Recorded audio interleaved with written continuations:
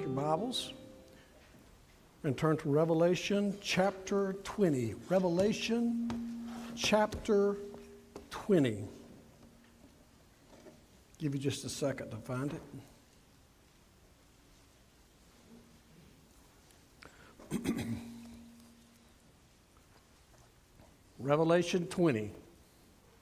Jason, you can go to the end of the Bible and take a left, and you'll be there in just a little bit, okay?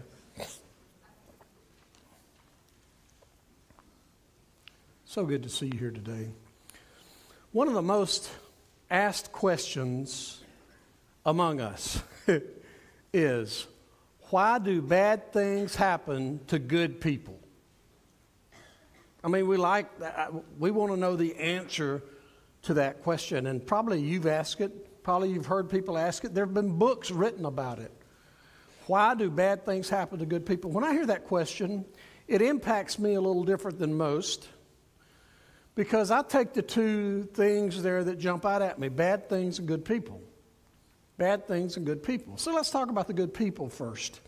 And before I unpack this, I'm just going to tell you that there are some people that are my friends that'll be glad when I leave New Hope Baptist Church because they're tired of hearing me brag about what good people are in the church and on the creek. Good people. But when I look at that term, good people, I'm reminded of Mark and Luke's recording of the life of Jesus. And somebody came to Jesus and said, Good teacher. And then asked him a question. And he goes, he kind of bristled at that. And he goes, Why do you call me good? Nobody's good except God. And you go, Well, he was the Son of God. He was good. Well, yeah. But what he was trying to do, he was trying to do for them and by extension to us that we see this thing of good people through the eyes of God instead of our own standard, through the eyes of the Scripture instead of our own judgments. For instance, the Bible tells us that there is none righteous, no, not one. The Bible tells us that all have sinned and fallen short of God's glory. So, you know what that tells us? Left to our own, we're not going to be a good people. Left to our own, we are sinful and wretched. Good people. Bad things. Okay. If I were to ask you, where do bad things, evil things, hurtful things come from? Everybody in unison would just about say Satan, the devil, Lucifer, the fallen angel, because that's where we know it came from. And I'll concede, I'll concede that evil things come from this being. But you have to concede that Satan probably slithered around in the garden as the evil one long before evil acts entered the world. For you see, he was here, but he was not of, he didn't have a path, he did not have a way to get his evil into the world until God's crown creation, mankind, the first couple, opened a door for him to bring his evil into this world. And here's what's happened. Teenagers, I hope you'll hear this. Is that since the Garden of Eden, since we let him in, evil runs rampant. And evil, bad things, are no respecter of persons. If I were to ask you to raise your hand if you ever had a hurt or heartache, sickness, suffering, everybody in this room, if you're honest, would raise your hand. Because now we live in this fallen world, this world that where evil things happen and it rains on the just and the unjust alike. But then, in the context of history, then Jesus stepped out of eternity into time so to make a way for you and I to step out of time into eternity.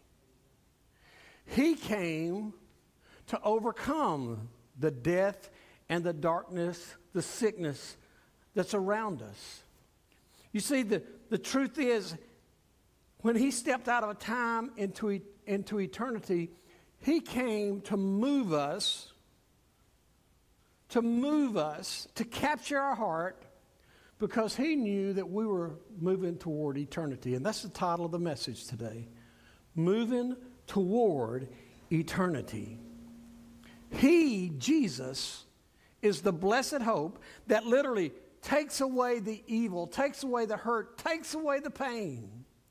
He's in the process of doing that today so that we can move into eternity and enjoy eternity, that we can have eternal life as opposed to eternal death. Those are your two options. I want to say that again. Those are your two options eternal life or eternal death. If we're going to enjoy eternity, three things must happen. Number one, Satan has to be done away with. Number two, sinners, those who are outside of Jesus, must be dealt with. And number three, saints, those of us who have given our hearts to the Lord, have to be identified. When I read the Revelation, I'm from, from chapter 1 to chapter 22, and when you read the Revelation, if you're human, it brings mixed emotions. It brings joy, it brings sorrow, it brings excitement, it brings regret,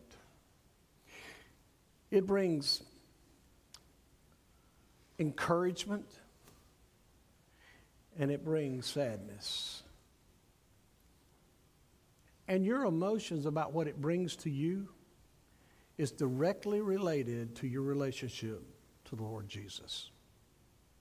If it's not about you, it's about your friends and your loved one. Because when you get to where we are in the scripture today, you understand that there are only two roads, two ways, two gates. And I just want to say this to you whether you're the tough, whether you're the tough guy no offense, Colin. Whether you're the tough game of basketball, whether you are a person that's given your life to your work, it doesn't matter who you are, every one of us is moving toward eternity. You can't stop it. All you can do is make preparations for it.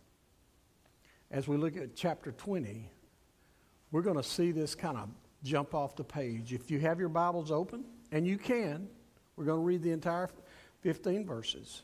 Let's stand to honor the reading of God's holy word.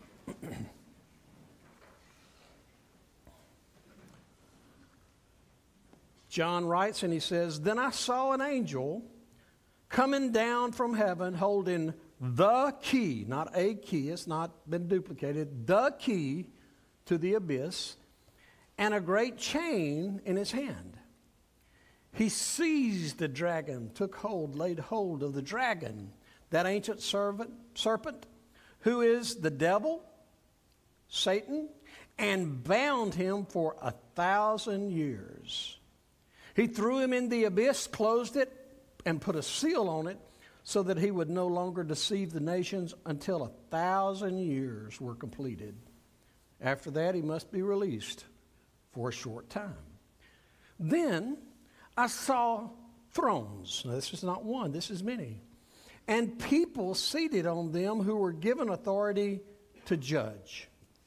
I also saw the souls of those who had been beheaded because of their testimony about Jesus and because of the Word of God, who had not worshiped the beast or the image, and who had not accepted the mark on their forehead or their hand.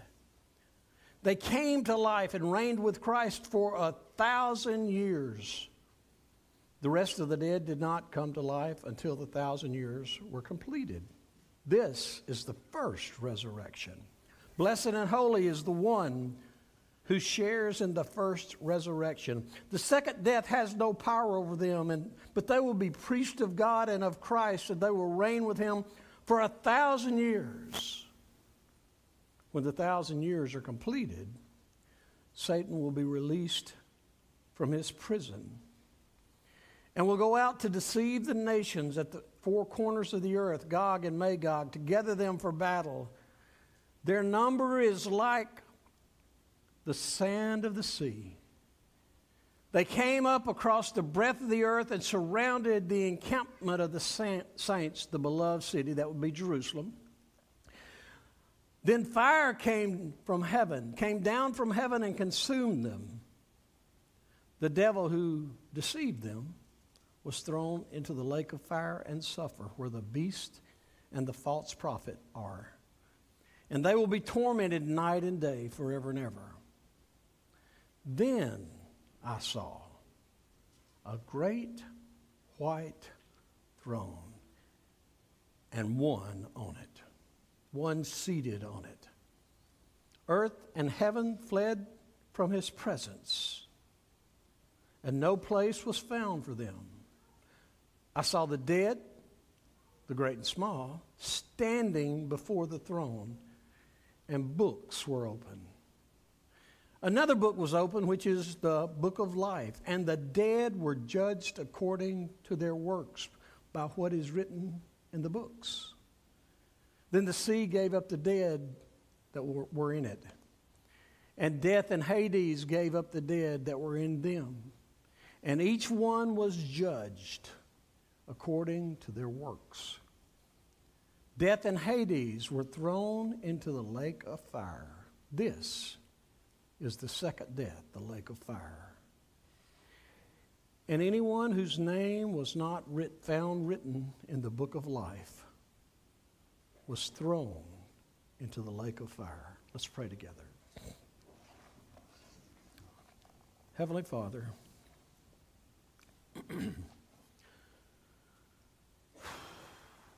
you have given us such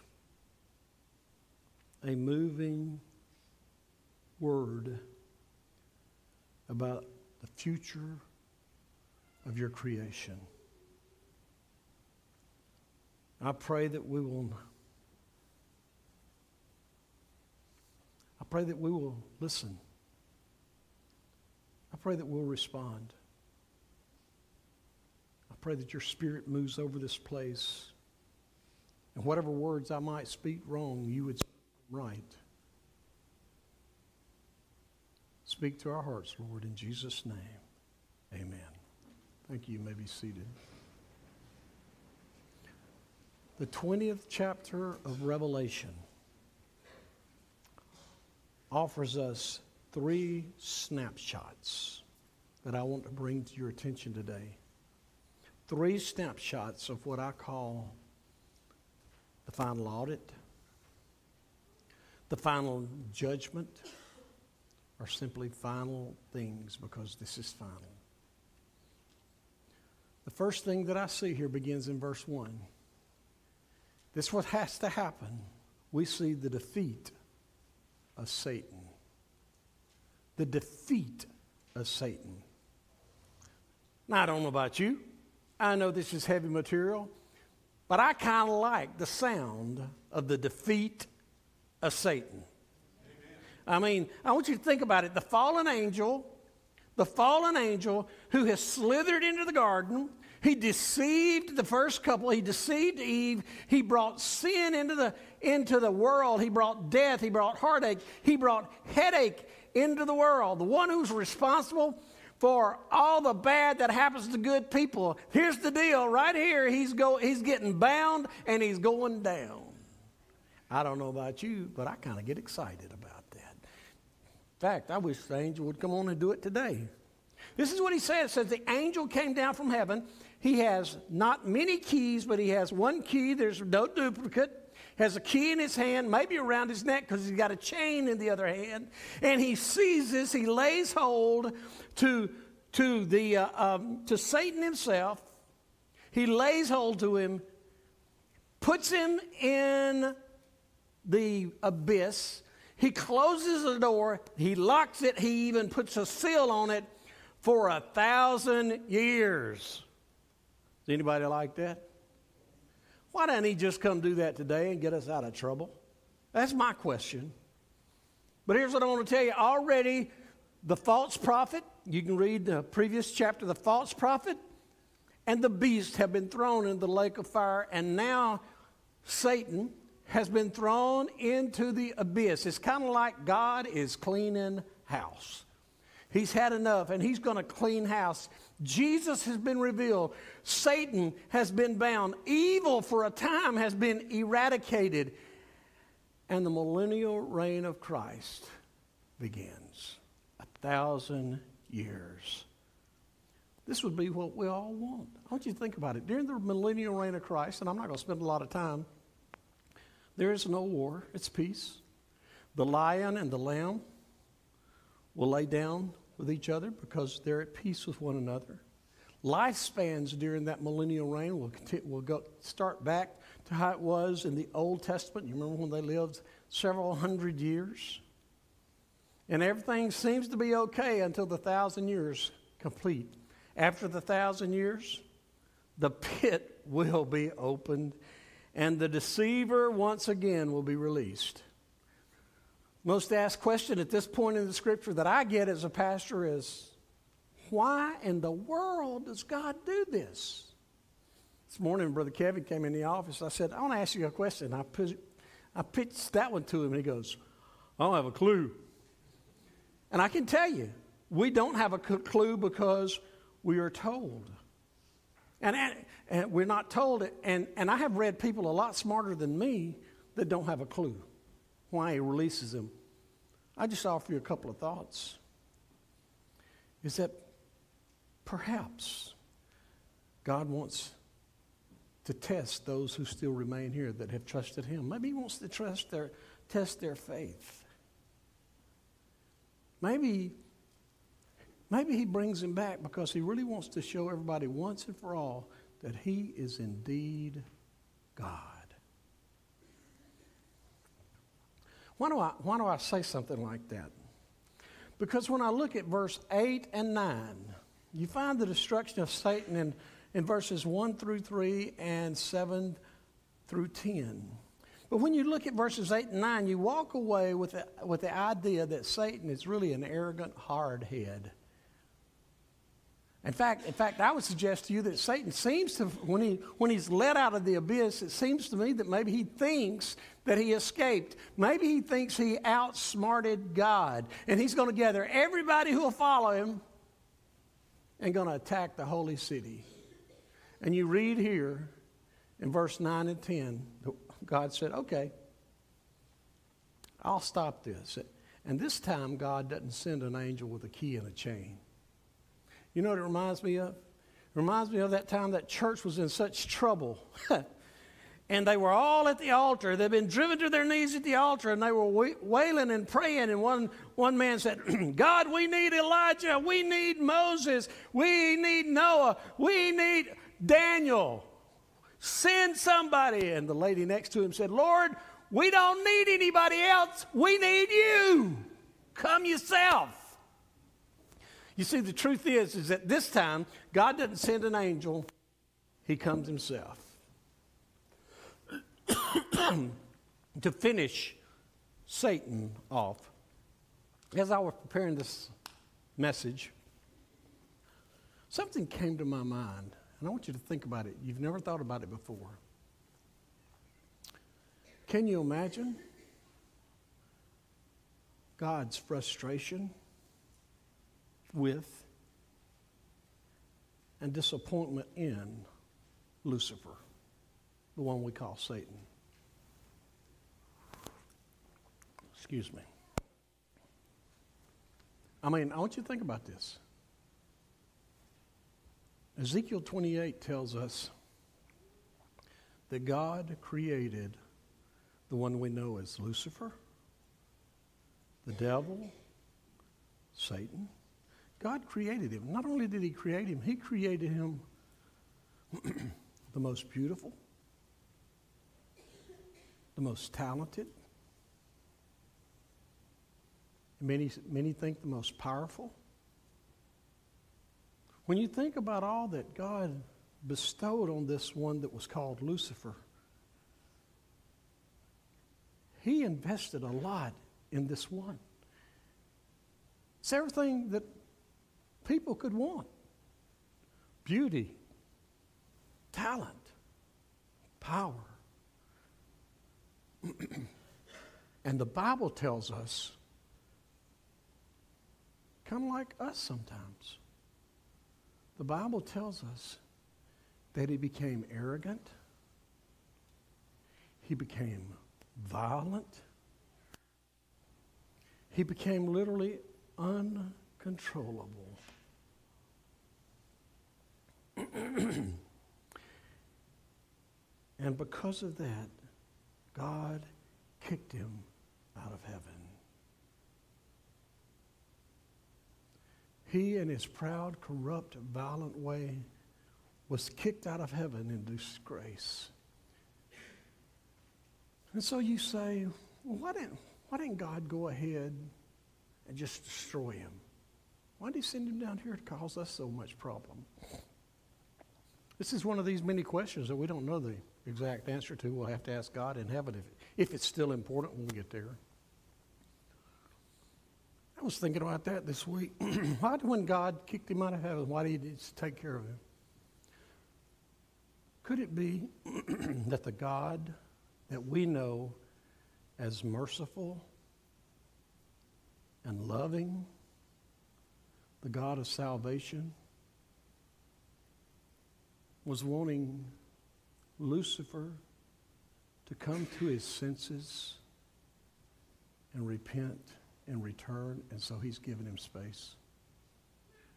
Now, listen, don't go tell anybody that I teach in this is theology. I'm just thinking. But here's what I'll tell you us the, the impact for us. We should, be, we should be reminded that God is a God of mercy and love and grace and salvation. But we should be reminded that his patience will run out. Because here, in verse 10, he eradicates Satan once and for all. He puts him in the lake of fire to burn those last words forever and ever. The defeat of Satan. The second thing that we need, second little picture, snapshot that I see is move from the defeat of Satan to the display of the saints. To the display of saints. Now, this is found in verses 4 through 6. This is like the coronation of all of those who have followed Jesus. The scripture begins in that verse and it says, Then I saw thrones, many thrones, and on those thrones were the saints, those who have been martyred, beheaded is actually the word. People who sat on those thrones were given authority to judge. Now that probably uh, rubs some of us the wrong way, but there is, in Scripture there is a there is always a connection between if you suffer with Christ, you will reign with Christ. These guys were given authority. Authority. I just read that word and I thought, man, that's not a word that people won't use today. You know what authority is? it's what our teenagers hate. Because they hate somebody Listen to me. Hate somebody to tell you what to do, where to go, and I'll nod at me there, Jude. That's a good, honest answer. Hate it. Teenagers hate it. But teenagers, can I just give you a little encouragement today? You know why you hate it? Because it's genetic. Because your mom and dad hated it when they were your age. Could I get an amen? Because they didn't want anybody telling them what to do. It's human nature. But here's what I'm going to tell you authority is required. If you're going to have, if you're going to have a society, if you're going to have a civil society, there must be authority. Now, let me, let me, let me just kind of run on this because we're, we're in a culture that's trying to do away with authority. If you're an atheist, if we have an atheist among us, welcome. If you're an atheist, you don't have any, nobody's got any authority. There are no objective truths, there are no objective rules. And so, uh, um, Basically, let me, let me just be crass to tell you how far this plays down. So, if we have no rules, if nobody's got authority, I can go right there and I can kill Jason Stringer.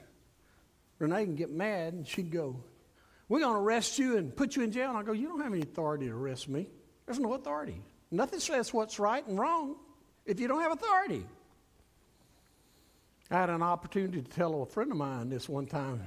He professed to not believe the Bible. And I said, Do you make it up as you go? He had a beautiful 16, 17 year old daughter.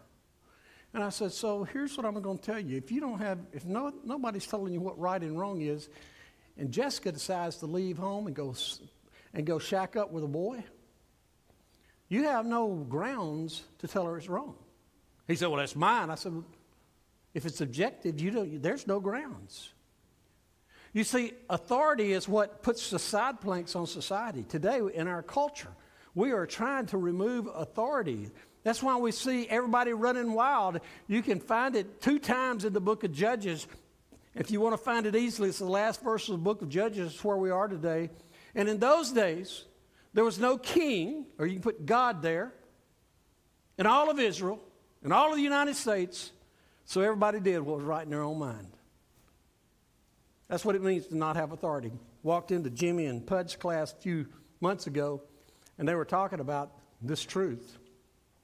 Right is right if nobody does it, wrong is wrong if everybody does it. Here's what I want to say to you like it or not, according to this book, right, wrong, good, and godly are not majority rules items. There are things that our Lord Jesus has put in place. You see, these folks were given the authority to judge from the Word of God, from the heart of God. They had been saved, and now they had crowns, and they were on thrones.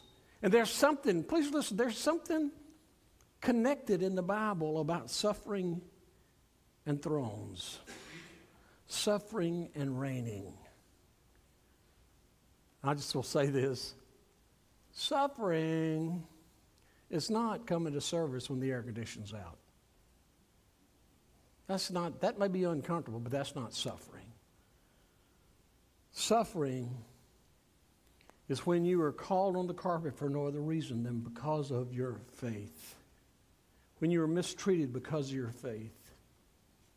In verses 4 through 6, where we see this display of all these people, some of them brought back to life have the privilege of reigning with Jesus. Literally thousands on display. But then we get to the heart of this chapter.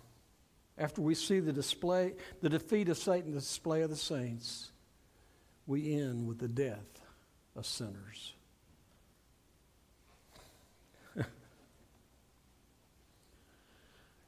Ten days ago, Brother Bob Pittman without warning to me, stood up and read Revelation 20, verses 11 through 15.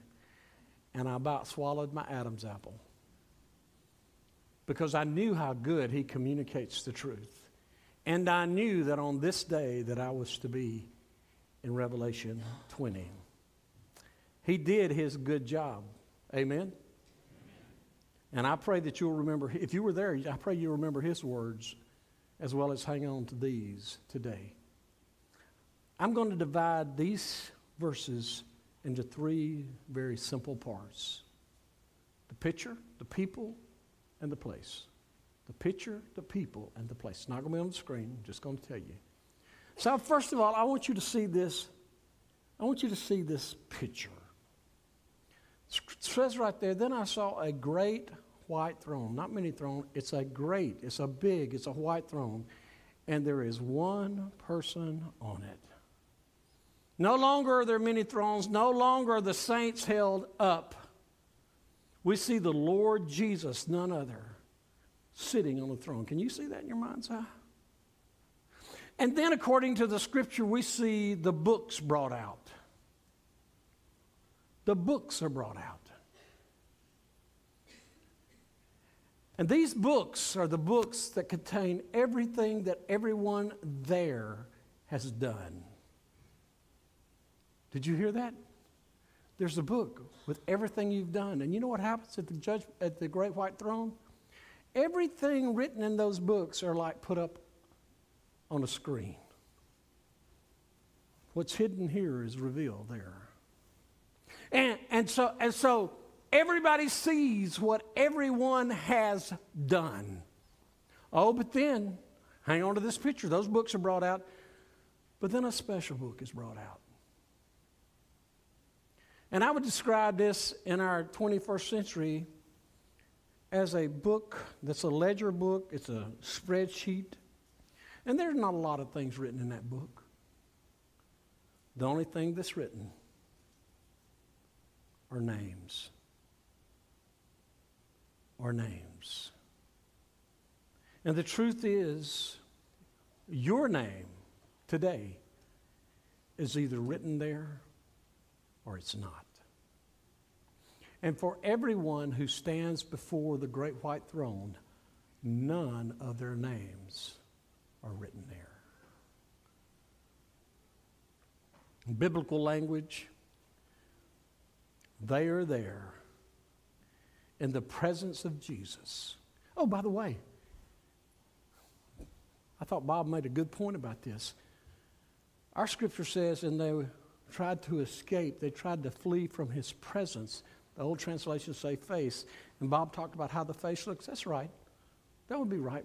But the reason they're trying to get away from the face in his presence is because he's pure holiness. And the people at the great white throne are pure evil. But they can't get away. Do you know why they can't get away? Because they made a choice. If you wind up at the great white throne, you have made a choice to be there. In fact, I would say this to you if you wind up at the great white throne, you go, you go there over the dead body of the Lord Jesus Christ.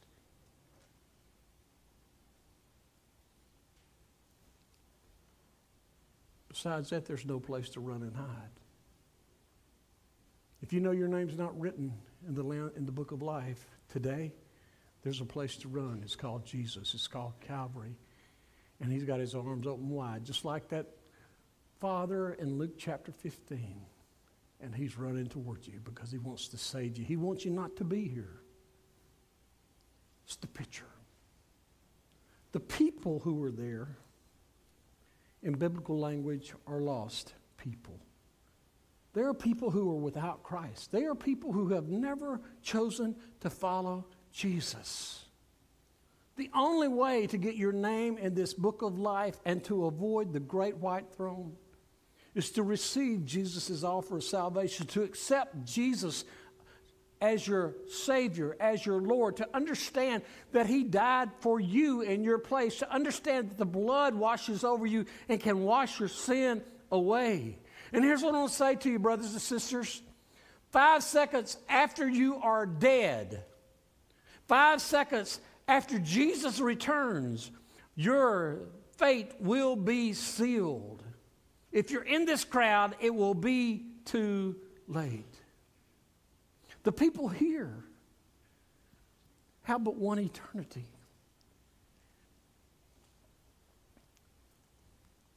I, I want you to think about that. The people here are going to wind up in a place in that lake of fire. But I want you to think about it. Consider this with me. Why in the world would Jesus allow someone into his heaven who hated his church, hated his people, didn't want to hang out with them, found it miserable to be in worship. Why would Jesus let somebody like that into heaven? Because I'm just going to tell you, it's my thought that when somebody doesn't want to be a part of God's people and hear God's word and worship the King of Kings, heaven will be their own personal hell if God were to let them get, go there. They've already made their choice. The people at the great white throne have no hope. They've rejected Jesus. They refused to receive Jesus. And thus they have received and are receiving their reward. I kind of want to drive this home because your reward is what you work for. Your reward is what your life brings you. Not only at the great white throne, but here. Let me just share a story with you. It's back from the 90s. I heard a youth evangelist tell our kids this story. Seems there was a senior, a girl who was a senior in high school. Boy, she had spent her life in the youth group. She spent her life singing. She spent her life in Bible study. And that's her senior year of spring, and her and her mom and dad are real, in real conflict because she thinks that she's old enough. She feels that she's old enough to go off to Florida on spring break by herself. Her mom and dad don't question her, but maybe question the environment. But they really got into a tussle.